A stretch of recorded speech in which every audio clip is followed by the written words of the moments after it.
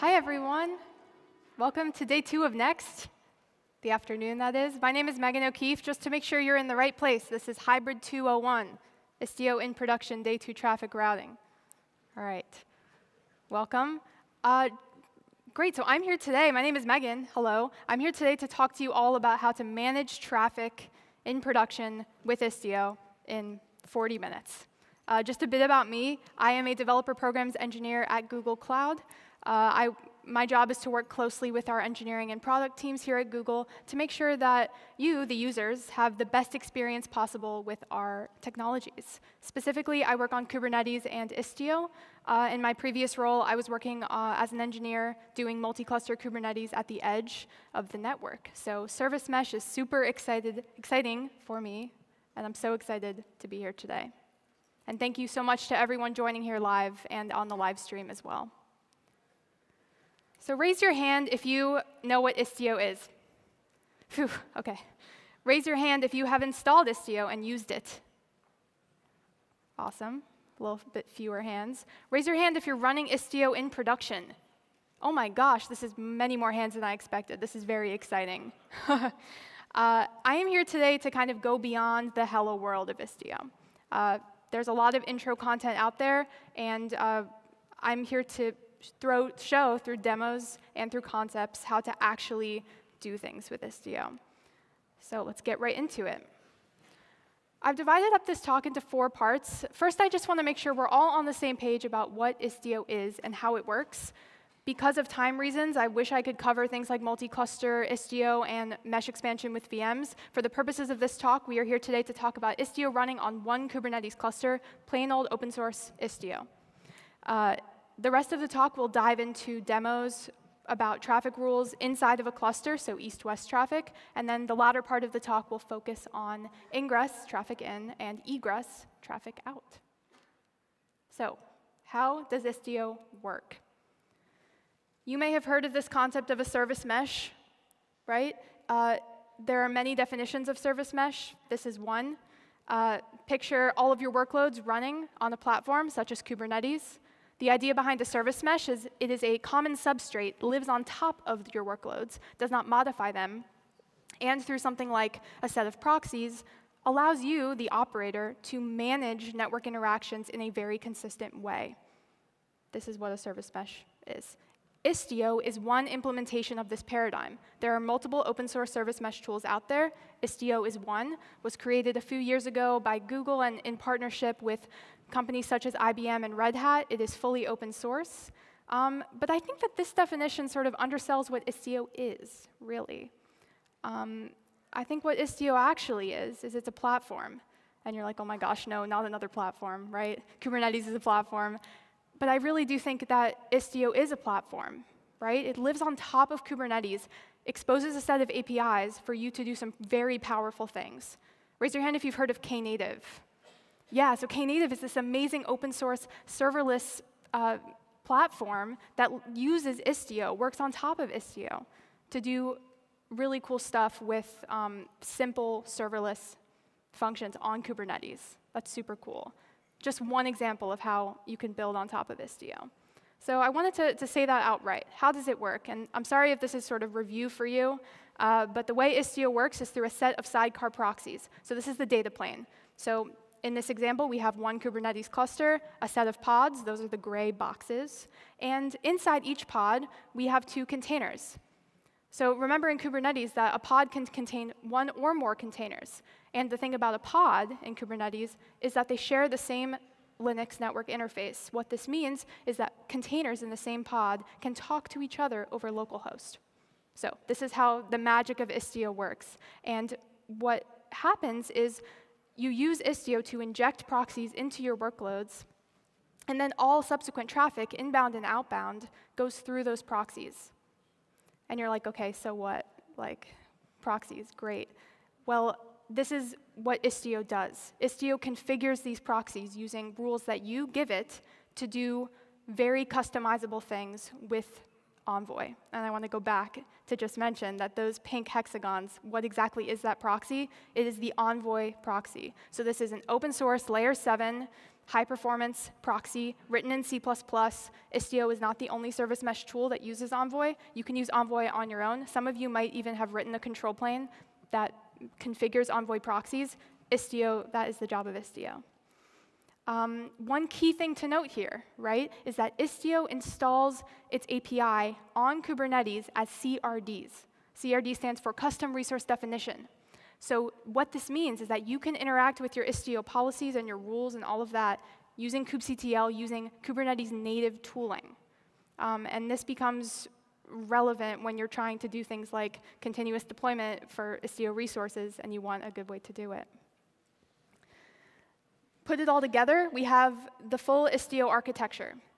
Uh, at the top, we have the data plane. At the bottom, we have the control plane. Uh, the key thing to note here is that the Envoy sidecars can handle multiple different types of traffic. So remember, so this is layer 7. So we're talking HTTP, uh, gRPC, that layer, the application layer, that is to say. And it's all running in Kubernetes. Again, you can run workloads in VMs. Istio can handle it, but unfortunately, don't have the time today. I'm here today mostly to talk about configuring Pilot. Istio has multiple control plane components, so we have Galley for config ingestion, we have Citadel for cert management for MTLS, and we have Mixer for telemetry. Uh, these are all crucial components for Istio. Mainly, the way that you uh, configure traffic is indirectly through Pilot. And Pilot pushes your config, your traffic rules, down to the Envoy proxies in the form of filters. So you, the operator, are never interacting directly with these proxies. You talk to Istio, the control plane. And you might be kind of wondering, like, okay, like, so what? What's the actual added value of taking on a piece of complexity such as Istio, right? It's not the world's most easy thing to just deploy it. It's, uh, what does it get you? A whole lot for traffic management. So one, just basic visibility into which microservice is calling which. You might have experienced this yourself if, you were, if you're trying to decouple a monolith into microservices. Introduces a whole bunch of problems, um, such as all of a sudden you have services making network calls to each other that maybe they weren't doing before. Traffic inspection, so taking individual requests and making decisions based on things like HTTP headers. i am going to demo this in just a moment. Um, granular percentage-based routing. So the thing about a Kubernetes service plain old service is that you are limited by your workload scaling.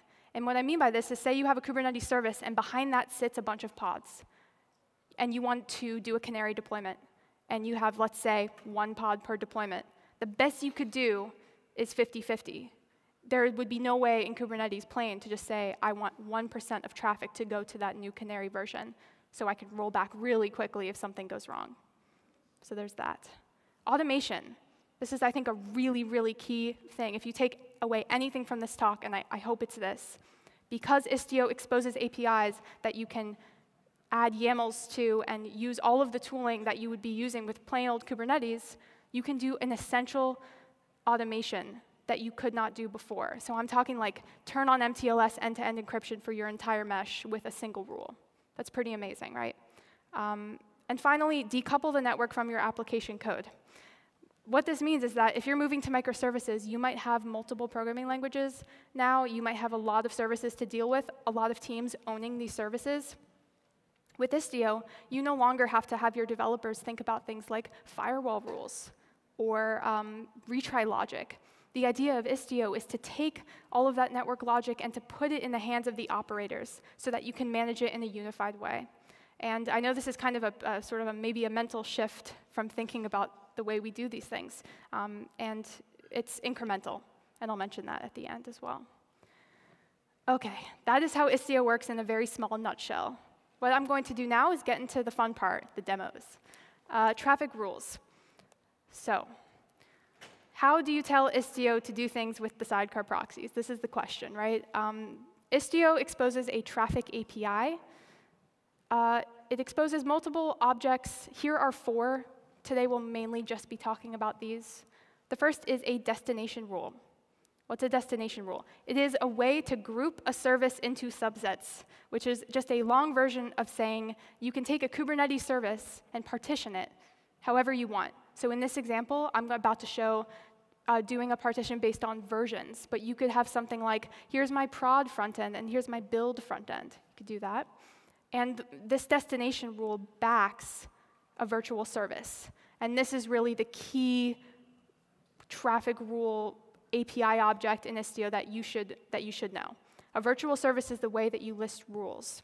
So in this example here, this YAML, I am going to uh, do a traffic splitting demo in which I canary, or blue-green is really the operative term, um, of a second version of my front-end microservice, and I'm going to direct 10% of traffic to it. Um, this is sort of the hello world of Istio, so I apologize if you've seen this a million times, um, but just to kind of get our feet wet here, it's going to be the first demo I show. Um, so yeah, so what's the value of, of doing this granular percentage-based routing that Istio lets you do?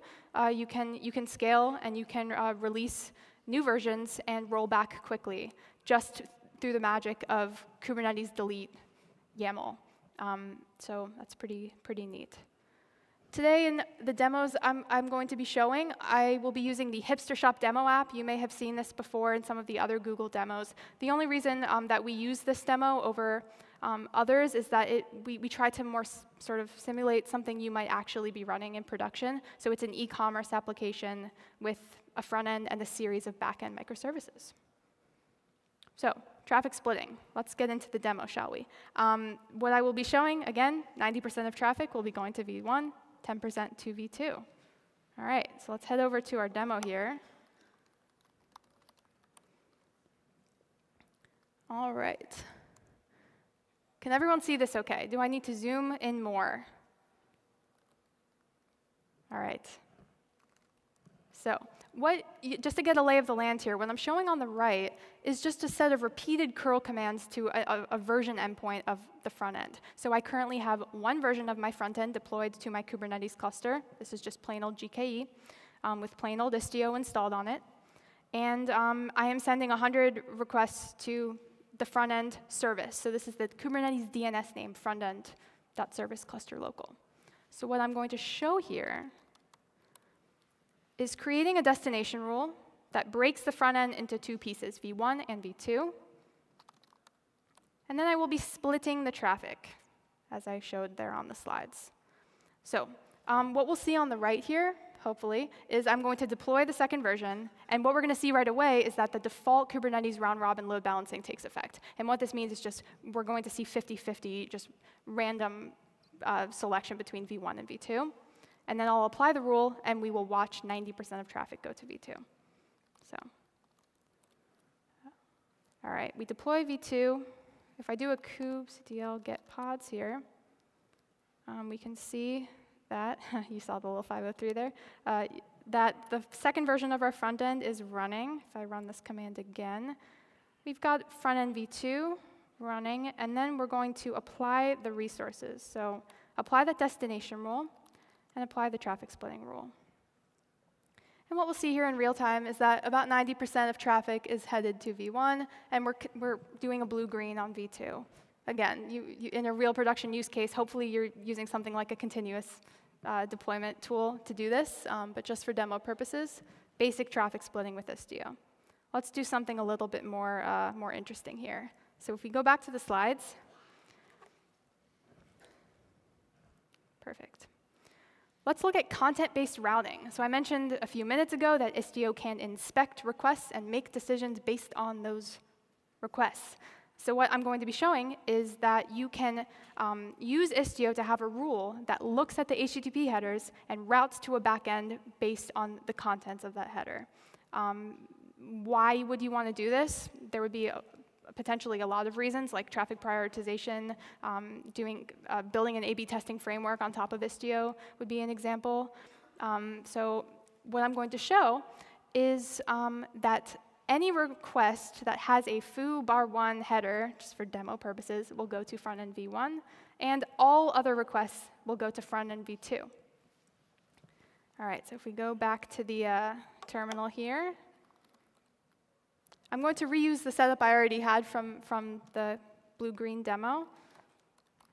And here's the rule that uh, allows you to do that content-based routing. So again, we're looking at a virtual service, Istio CRD, And rather than doing just plain old splitting, we're going to do an, a match on the header with an, with an exact match foobar1, and we're going to route all requests that, that fit that match to v1. And then we will route all other requests to v2. Notice the kind of the precedence that is sort of implicit in this YAML. Um, you know, they say you shouldn't build logic into YAMLs. This virtual service does, in which we fall through. So if we don't have, if we don't fit this match condition, we fall through to v2. So here on the right, when I apply this rule, and it's a plain curl request with no headers, what do you think will happen? Raise your hand if you think v1, it will be only v1, 100%. Raise your hand if it will be 100% v2. Okay. Great, just making sure you're listening. All right, so we're going to apply this resource. We're in place, we're going to modify the virtual service we already had. Right, so 100% of requests went to v2. Why? Because we don't have that HTTP request header. Here I am in a pod, and I can curl the front end with that foo bar 1 header the version endpoint, and we will see v1. And just to show I'm not faking here, I can run this again and again and again, and we will see v1. Run it without the header, and we will see v2. So again, demo purposes, show, showing as best as I can, it's kind of the, the things you can do uh, on top of Istio. So if we go back to the slides here,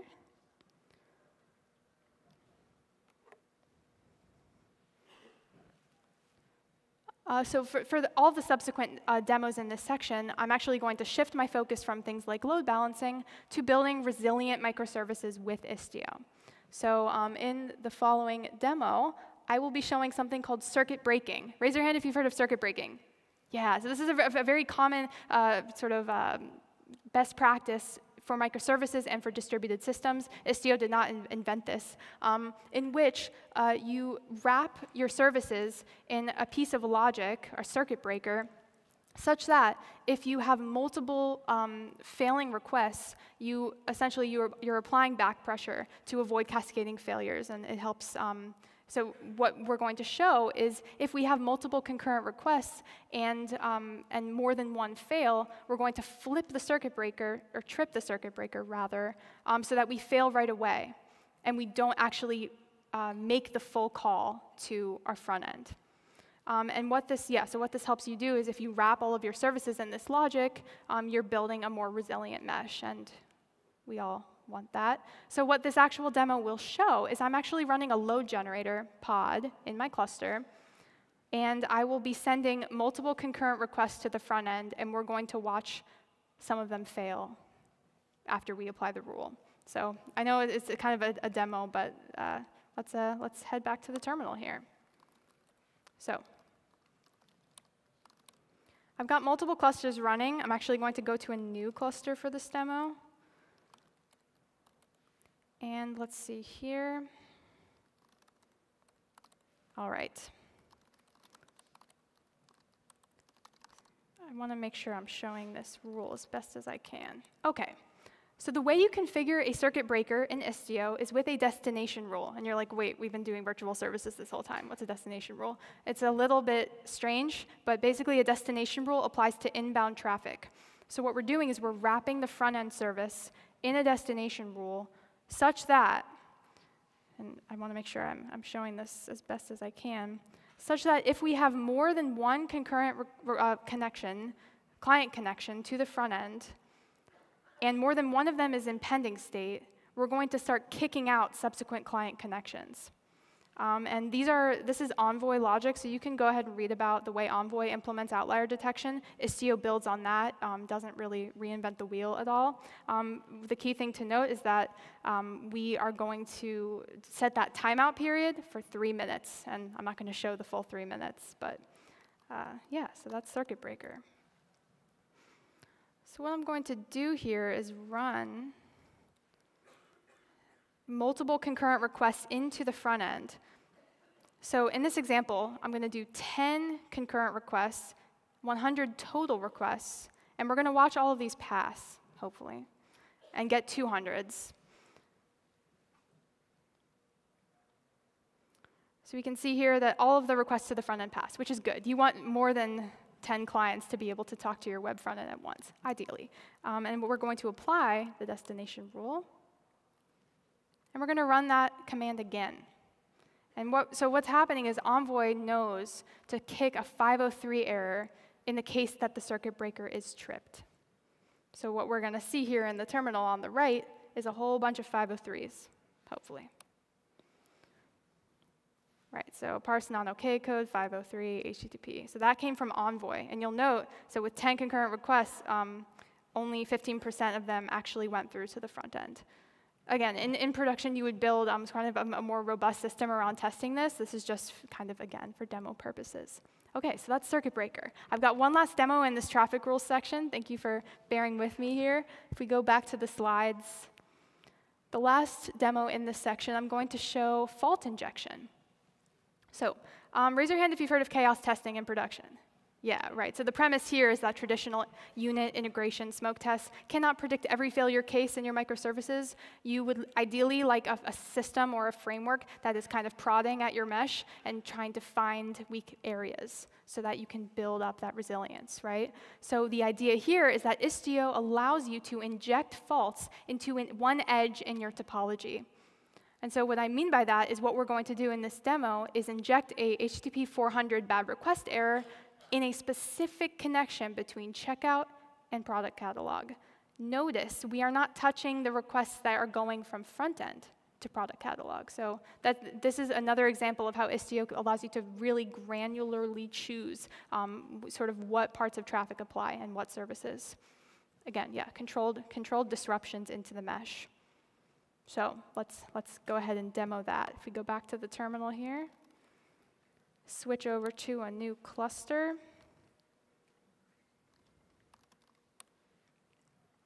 All right. Okay, so the way that you do fault injection is with both a destination rule and a virtual service. Let's see here. All right. So let me show that. The destination rule, all it does, so again, so we're introducing a disruption between checkout and product catalog. So what we're going to do is um, define a subset for product catalog v1, and the virtual service needs this um, to inject that fault. And so notice, like with the content-based routing demo, what we're doing is this match condition. But rather than matching on a header, we're matching on the source workload. So we're saying, OK, only requests from checkout should have this 400 uh, status code. Abort those requests, 100% of them. Everything else fall through to normal behavior. So that's what we hope to see. And the way I'm going to demo this, again, just for example purposes, is by going into the actual application, into the front end, and trying to do a checkout. And it hopefully will fail. So let's see here. Uh, all right. So we're going to go into our front end. Oops, that was not what we wanted. so uh, let's see here. Here's our external IP.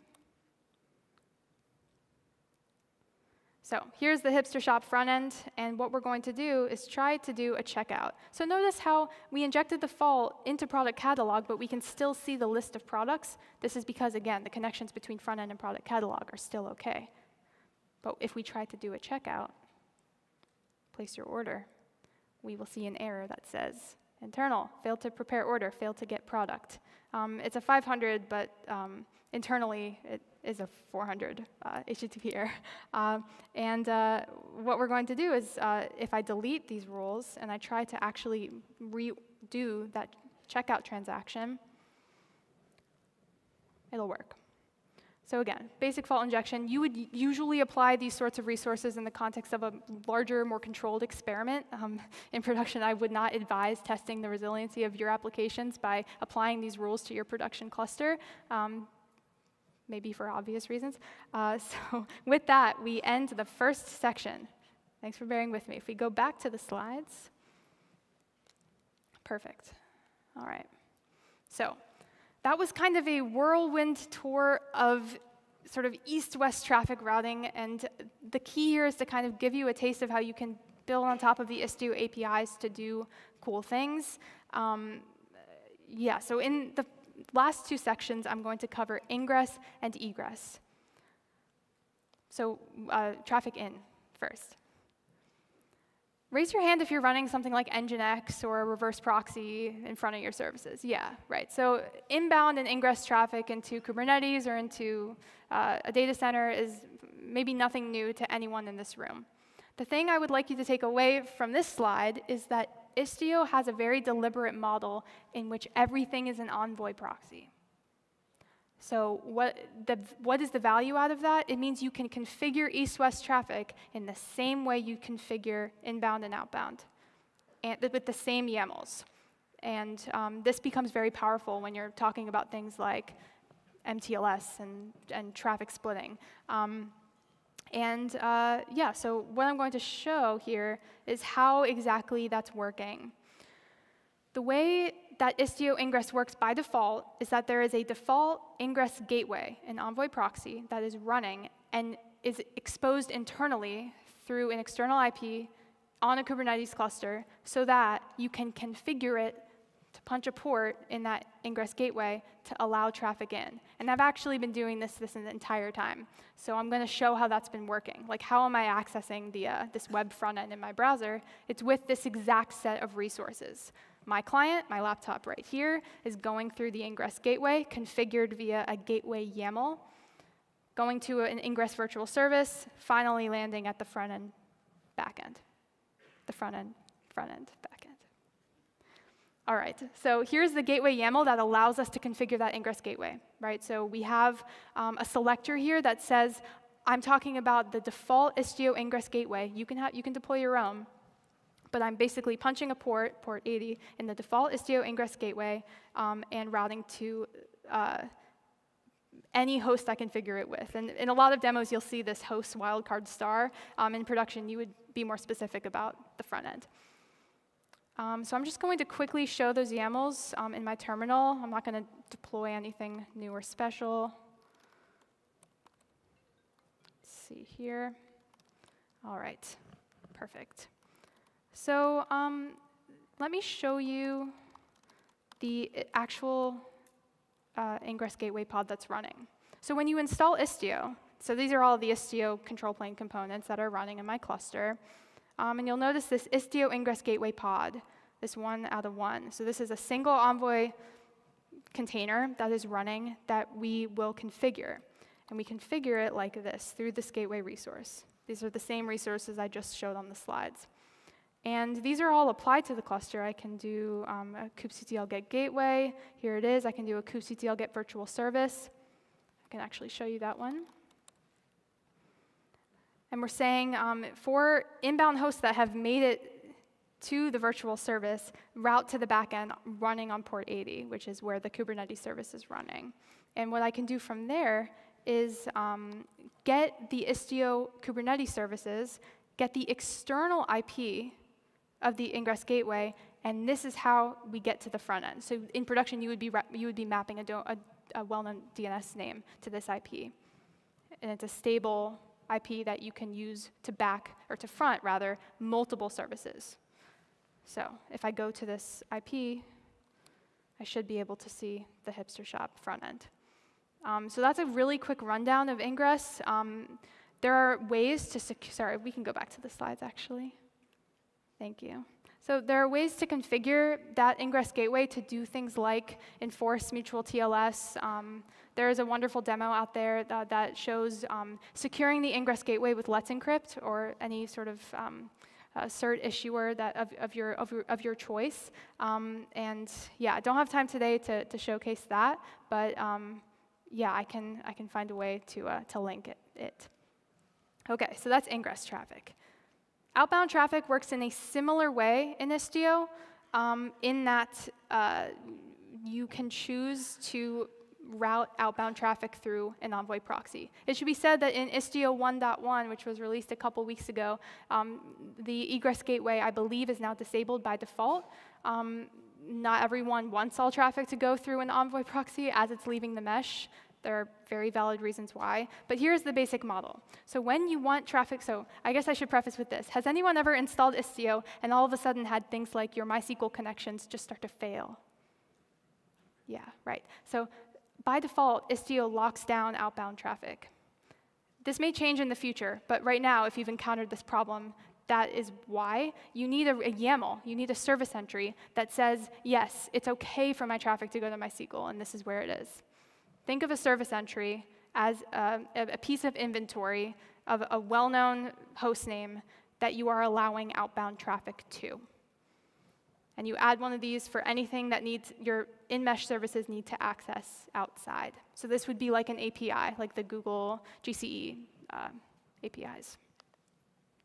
And when you add one of these resources, by default, it um, goes directly to that external service from the service, service's Envoy proxy. Uh, what I want to show as kind of my, my final demo here um, is a way to secure, do, do, this, do egress traffic more securely. So imagine that you have a situation in which you want to really carefully monitor any traffic that is leaving your environment. So say you're running Istio on-prem in a specific region, and you want to make sure that you can enforce or at least inspect outbound traffic. So what you can do is input an Envoy proxy in between your in-mesh service and your external service to do exactly that. So what I'm going to show in this demo is I'm going to co configure the egress gateway in Istio to, um, to look at all traffic to this uh, EU bank endpoint. Uh, why would you want to do this? There's a, another really good reason why, which is um, starting, I think it, it's an increasing best practice to think of in-mesh services the same way as you would out-of-mesh services. And what I mean by this is just because something is running in your cluster does not mean you can necessarily trust it, right? Kubernetes has service accounts it. We have RBAC and we have all of these systems in place, but that doesn't mean that um, a malicious service can't make its way into your cluster with, for example, a Docker image with kind of an erroneous tag. So um, that is uh, why uh, I think this demo is, is somewhat relevant. So what I'm going to be showing here is that in our demo app, one of our backends talks to a bank API to get exchange rates. And we're going to put an egress gateway in between the currency service and the API to look at outbound traffic. Uh, I'm not going to show this in this demo, but what you could do with this gateway is configure it just as we did all the way up until now with rules, such as enforce MTLS um, uh, to the, the EU Bank endpoint. So with that, I will do this final demo back in my terminal. Oops. All right. Perfect. Let's get on the right cluster here. Awesome. So let's look at the resources that allow us to do exactly this. So right now, um, right now, I, it, I, just have my plain demo app deployed, no, no fancy rules. Um, no traffic is not going through an egress. And um, what I want to show, just to prove it's working, um, is to actually get the really spammy logs of this egress gateway. I'm actually, yeah, sure. I apologize if this hurts anyone's eyes.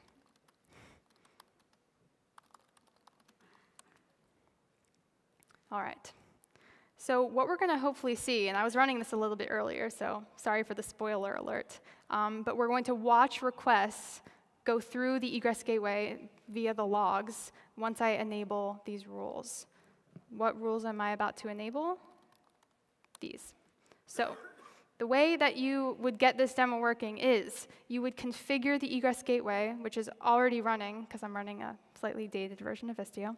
You would configure this egress gateway to um, route traffic to the external endpoint. And then from there, you would add additional resources. The first would be um, ensure that traffic goes through this um, secure gateway um, by specifying route rules, just as we have been throughout this demo. And sorry that they're a little bit uh, dense here, so it's, I know, a lot to kind of grep visually. and then um, we would define a destination rule that, um, again, is forcing traffic to go, instead of from currency service directly to the EU Bank endpoint, we are using route rules to funnel that traffic through the egress gateway. And so um, what we will hopefully see in the egress gateway logs is uh, we will see a warm-up log that says, okay, I'm the egress gateway, and I know that I, I can be talking to the EUBank API. And then we will see the actual request go through once I try to do a currency conversion. All right, so let's do apply the resources. And we can see here in the egress gateway logs, it's kind of hard to see, but we have this warming cluster outbound, ECB, which is the European Central Bank, complete. So the Envoy has been configured with the rules it needs. And then um, if we go into the front end and we just try to like do a, do a refresh here, it's a, it's a bit slow. We may or may not have some throttling issues with this API as we demo it repeatedly. All right, and we try to do a currency conversion here. What we'll hopefully see when we go back to the logs is that um, a request went through the egress gateway. All right, sorry for all of those, uh, those, those, telemetry errors, but yeah, so we see these, all these HTTP GET requests um, to that API. Um, so yeah, so that's, that's kind of securing egress traffic. Again, um, with, with demos, it can be kind of tough to show um, exactly uh, how you would bring this into your own environments, but I hope it at least kind of gives you a taste. Um, so with that, I'm going to go back to the slides and wrap up. Thank you so much for bearing with me. I know it's like a lot of demos and a lot of YAML to stare at. All right, back to the slides. Closing thoughts. I want to stress that uh, Istio 1.1 was released a couple of weeks ago. Super exciting. It's, it was the result of a ton of hard work in the community, um, not just by Google, but by many other organizations and individuals to help improve Istio's performance and, and scalability. Um, so 1.0 was not too long ago, and now we're in 1.1. What this means is that Istio is still a relatively young technology. Some things are changing, um, and it is out in the open, right? It's open source.